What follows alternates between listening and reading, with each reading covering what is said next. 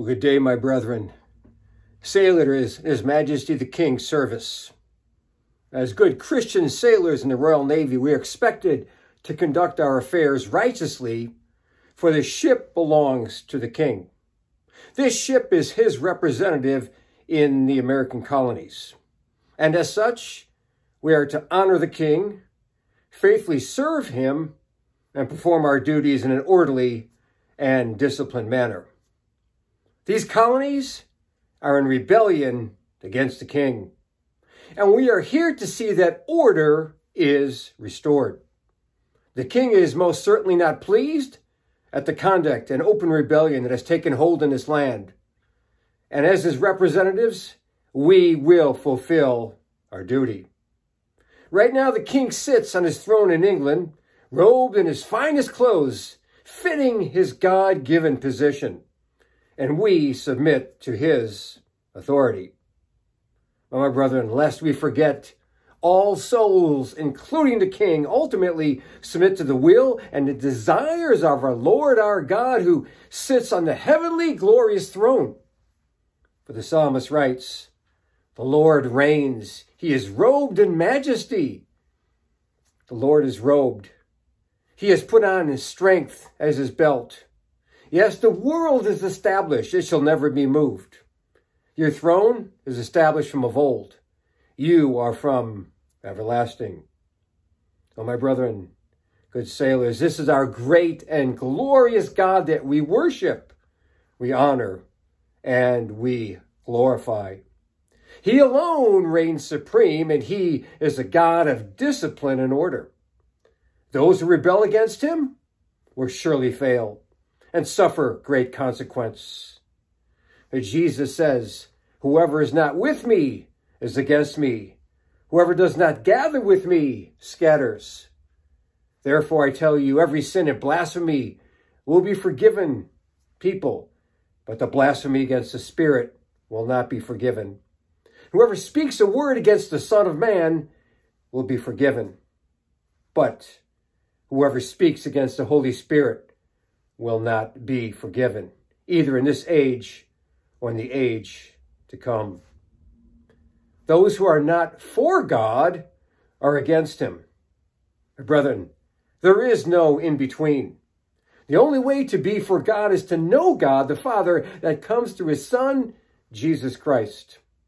This is the only way to come to the one true God. All sin can be forgiven except blasphemy against the Holy Spirit. And why is that, you may ask? Because the Spirit testifies about Jesus, that he is God's Son, God's Redeemer of man for the forgiveness of sin. Jesus went to the cross to take our sin penalty, which is death. He paid it in full, so we don't have to. If you blaspheme the Holy Spirit, you reject the one the Spirit reveals and testifies to, that is Jesus. If you blaspheme the Spirit, it means you reject Jesus to whom the Spirit reveals. That sin cannot be forgiven because Jesus is the way, the truth, and the life. Nobody comes to the Father but by Jesus, God's Son.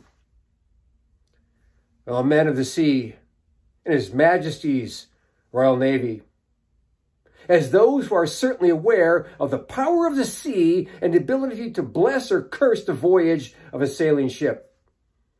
The scriptures speak about the one true God, who is far stronger and mightier than the great waves of the sea. For it says, the floods have lifted up. O Lord, the floods have lifted up their voice. The floods lift up their roaring, mightier than the thunders of many waters, mightier than the waves of the sea. The Lord on high is mighty. Your decrees are very trustworthy. Holiness befits your house, O Lord, forevermore. Oh, my brother, our great God is trustworthy. All his promises are true. He will never leave his people nor forsake them.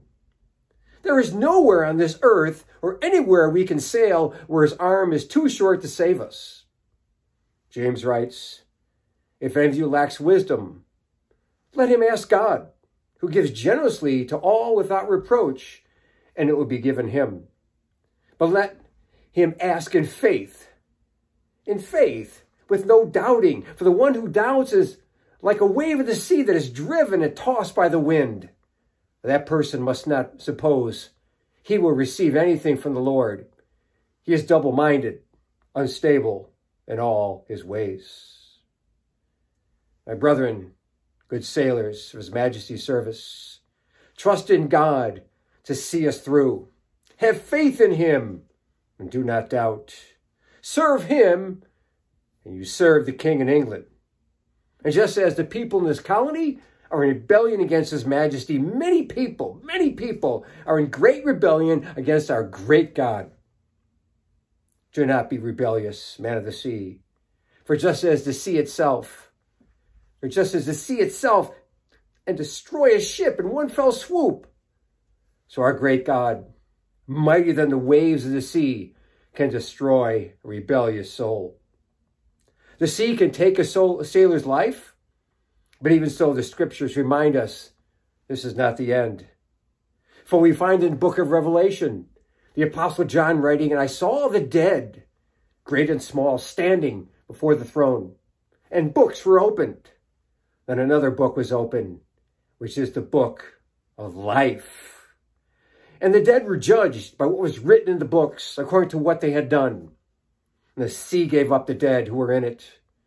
Death and Hades gave up the dead who were in them, and they were judged, each one of them according to what they had done and death and Hades were thrown into the lake of fire. This is the second death, the lake of fire. If anyone's name was not found written in the book of life, he was thrown in the lake of fire.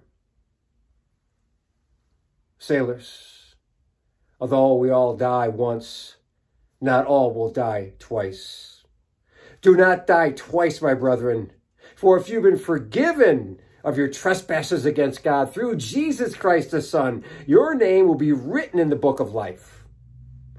For those souls, there is not a second death, but rather eternal life. Eternal life, my brethren. Well, honor the King, my brethren. Fulfill your duty as sailors in his Royal Navy. But glorify magnify and fear our great God with awe and wonders, for he is worthy to be praised. Amen.